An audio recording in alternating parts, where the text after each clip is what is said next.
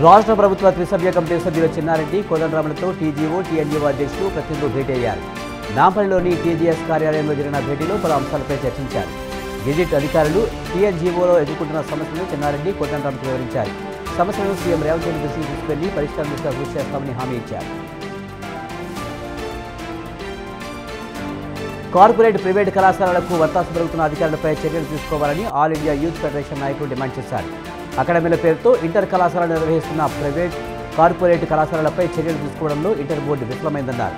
Inter board ఆదేశాలను ఉల్లంఘించిన కళాశాలలపై inter board కార్యాలయం ముందు ధర్నా నిర్వహించారు.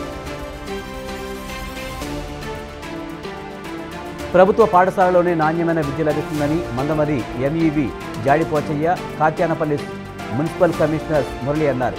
రాష్ట్ర ప్రభుత్వం ప్రతిష్టాత్మకంగా చేపట్టిన ప్రొఫెసర్ జయశంకర్ బడిబాట కార్యక్రమంలో భాగంగా పట్టణంలో ర్యాలీ నిర్వహించి ప్రజలకు ప్రభుత్వ పాఠశాలలపై అవగాహన కల్పించారు. బడి పిల్లలందరికీ బడిలో చేర్పించారని ఎంఈఓ కోరారు. పటాచెరువు మండలం ఇంద్రదేశంలో ఎరుకులి పోచమ్మకు చెందిన రెండు వందల గజాల ప్లాట్ను నర్సాపూర్కు చెందిన తిమ్మరెడ్డి విభూషణ్ రెడ్డి గోపాల్ కబ్జా చేయాలనుకున్నారని జిల్లా అడిషనల్ ఎస్పీ సంజయరావు తెలిపారు.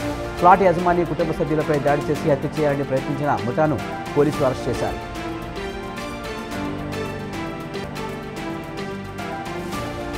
హైదరాబాద్లో భారీ వర్షం కురిసింది. ఉదయం నుంచి బాలుడు తన ప్రతాపాన్ని చూపెడుతున్న వాతావరణంలో ఒక్కసారిగా మార్పు చోటు చేసుకుంది. నల్లటి మేఘాలు కమ్ముకుని ఈదురుగాలు ఉరుములతో కూడిన భారీ వర్షం కురిసింది. దీంతో ప్రయాణికులు ప్రజలు ఎక్కడికక్కడ స్తంభించిపోయారు. వాహనదారులు రాకపోకలకు ఇబ్బందులు ఎదుర్కొన్నారు.